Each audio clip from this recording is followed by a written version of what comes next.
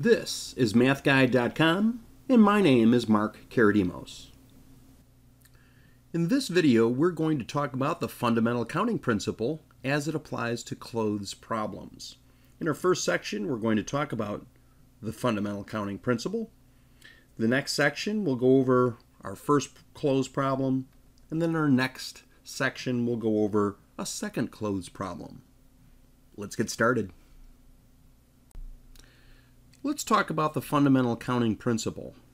If you are given two independent events and you know how many different possible outcomes there are for the first event, and you know how many possible outcomes there are for the second event, it's easy to figure out how many possible outcomes there are for the total number.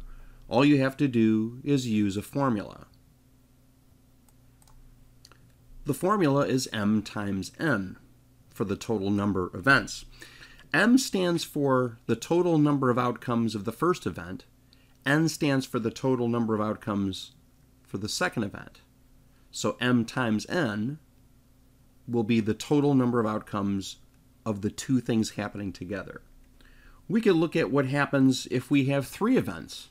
If we put three events together, well, the formula would be a little bit different it would look like this. M stands for the total number of outcomes of the first event. N stands for the total number of outcomes of the second event. P stands for the total number of outcomes of the third event. So if I want to figure out how many possible ways are there to put these three independent events together, it's just M times N times P. All right, we're going to take a look at three problems that demonstrate how to use this principle. All right, here's problem number one.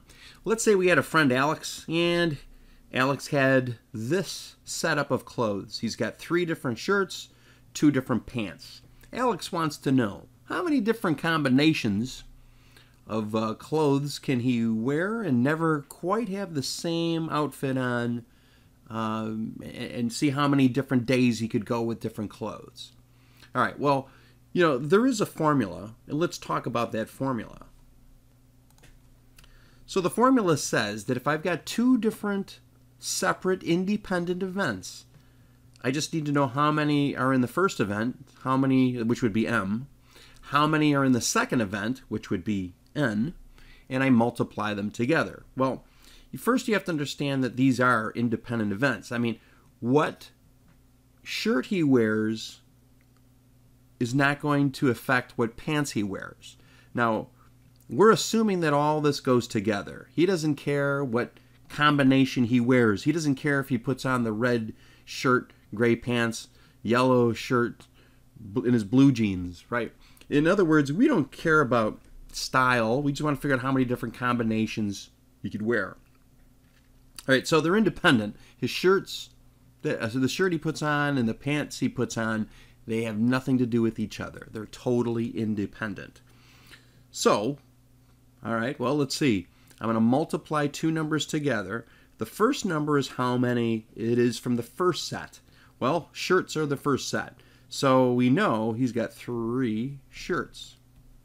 We know he's got two pairs of pants, and they are totally independent. So if I take 3 times 2, I get 6 events. 6 events can possibly occur. And it makes sense. He could have yellow gray pants, yellow blue jeans. He could have blue shirt, gray pants. You could have blue shirt, blue jeans. A little tacky, but you could have that. Okay, and then you could have red shirt, gray pants, red shirt, blue jeans, which is a total of six combinations. Now, I don't want to have to keep counting like I just did there to show you that this six numbers is valid. I just want to use this formula in the future because sometimes what we count gets very large. And finding all possible combinations gets very difficult. It's just easier to use the formula. All right, on to our next problem. All right, this is problem number two. So let's say Alex has the same set of clothes and then he just picked up a couple more. So he picked up a white shirt, he picked up a black pair of pants, and now he wants to figure out, hey, how many different combinations of clothes can I wear now? So we're still going to use the same formula for our fundamental counting principle. And there it is. So we just want to figure out what our two independent events are. And in this problem, I mean, there, there can be several independent events. In this problem, there's only two independent events. Uh, but for our problem, it looks like I've got shirts and pants. So let's see, how many shirts does he have? He's got four shirts.